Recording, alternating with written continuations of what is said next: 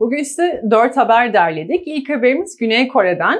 Güney Kore Adalet Bakanlığı bir kripto izleme sistemi getirme planları olduğunu duyurdu. Bundaki amaçları ise kara para aklama girişimlerine karşı koymak ve suç faaliyetleriyle bağlantılı fonları kurtarmak. Yerel bir medya kuruluşuna göre de e, sanal para birimi izleme sistemi işlem geçmişini izlemek, işlemlerle ilgili bilgileri çıkarmak ve havale öncesi ve sonrası fon kaynağını kontrol etmek için kullanılacak. Sistemin 2023'ün ilk yarısına devreye alınması planlanıyor. Bakanlıktan yapılan açıklama ise şu şekilde.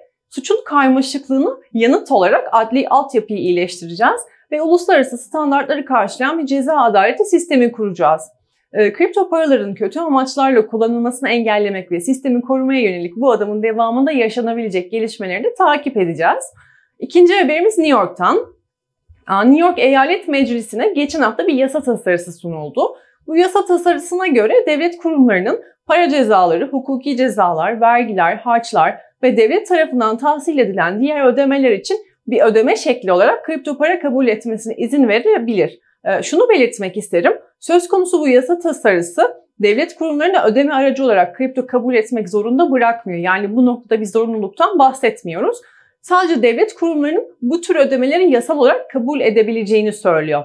Ancak bu anlaşmaların mahkemeler tarafından uygulanması gerekiyor ve tasarının yasalaşması ve hayata geçmesi için e, New York Meclisi ve Senatosu'ndan geçmesi ve eyalet valisi tarafından imzalanması gerekiyor. E, sıradaki haberimiz Beyaz Saray'dan. Biden yönetimindeki 4 tane üst düzey yetkili geçtiğimiz cuma günü bir bildiri yayınladı. Yayınladıkları bu bildiriyle de kongreyi kripto para piyasasını düzenlemeye yönelik çabalarını arttırmaya çağırdılar. Bildiride kongrenin müşterinin varlıklarının kötüye kullanılmasını önlemek ve çıkar çatışmalarını azaltmak için regülatörlerin yetkilerinin genişletilmesi gerektiğini yazdılar. Dikkat çeken bir başka şey de şu oldu. E, kongreye yönelik diğer öneriler arasında kripto şirketler için şeffaflık ve açıklama gerekliliklerinin güçlendirilmesi yani artırılması da var. Yine aynı şekilde yasa dışı finans kurallarının ihlaline yönelik cezaların artırılması ve uluslararası kanun uygulayıcı ortaklarla daha yakın çalışılması da var. Son haberimiz de Moody's'den. E, Moody's stabil kripto paraların puanlanmasına olanak tanıyacak bir sistem için düğmeye bastı. Henüz geliştirme aşamasında olan bu sistemin 20'ye kadar stabil kripto para analizini içermesi bekleniyor.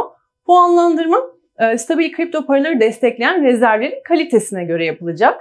Kaynakların belirttiğine göre proje henüz çok erken bir aşamada bulunuyor ve kredi notu yerine geçmeyecek. Yani bu bir şekilde kredi notu olmayacak.